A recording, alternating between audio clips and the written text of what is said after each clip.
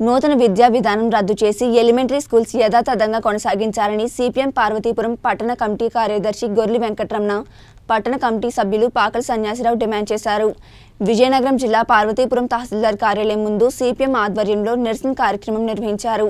అనంతరం ఉప తహసీల్దార్ విజయభాస్కర్కు వినతి పత్రం అందించారు. ఈ సందర్భంగా నాయకులు మాట్లాడుతూ నూతన విద్యా విధానం ద్వారా ఎలిమెంటరీ పాఠశాలలో చదువుతున్న విద్యార్థులను హైస్కూల్స్లో విలీనం చేయడం వలన పసిపిల్లలను విద్యకు దూరం చేయడం అవుతుందని అన్నారు. ప్రభుత్వం నాడు నేడు కార్యక్రమంలో భాగంగా లక్షలాది రూపాయలు ఖర్చు చేసి అభివృద్ధి చేసిన పాఠశాలలన్నీ మూసివేసే పరిస్థితి దాపురిస్తుందన్నారు. హై స్కూల్లో ఇప్పటికే పిల్లల సంఖ్య ఎక్కువగా ఉందని తరగతి గదులు చాలడం లేదని ఇప్పుడు ఎలిమెంటరీ స్కూల్స్లో విద్యార్థులను విలీనం చేసిన కారణంగా తరగతి గదులు చాలక ఇబ్బంది వస్తుందన్నారు.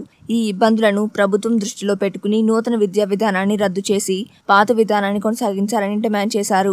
ఈ కార్యక్రమంలో సంబాను చిన్న సామంతులు గౌరీ గౌరమ్మలు పాల్గొన్నారు. బడులు నడపాలి నూతన విద్యా విధానం రద్దు చేయాలి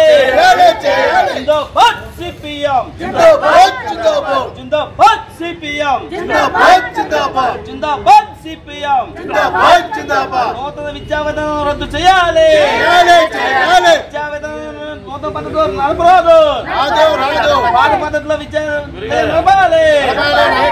పాత పద్ధతిలో బడులు నడపాలి. నూతన విద్యా విధానం రద్దు చేయాలి. నూతన విద్యా విధానం జిందాబాద్ సిపిఎం. జిందాబాద్. సిపిఎం. నూతన విద్యా విధానం రద్దు చేయాలి.